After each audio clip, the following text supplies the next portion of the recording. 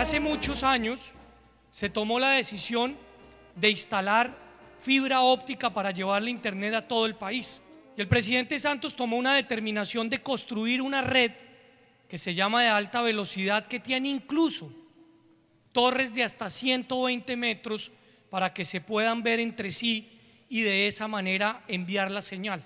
Por eso, no solamente estamos entregando este punto Vive Digital, estamos entregando esos kioscos que Henry mencionó, van en camino, las conexiones de los colegios, de las casas.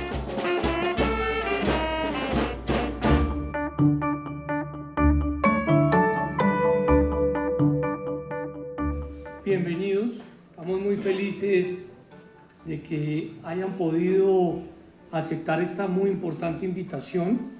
Para nosotros es eh, tal vez uno de los mayores orgullos desde nuestro Viceministerio de Conectividad y desde nuestra Dirección de Infraestructura tener algo tan valioso y tan importante como son nuestros puntos Vive Digital y nuestros kioscos Vive Digital.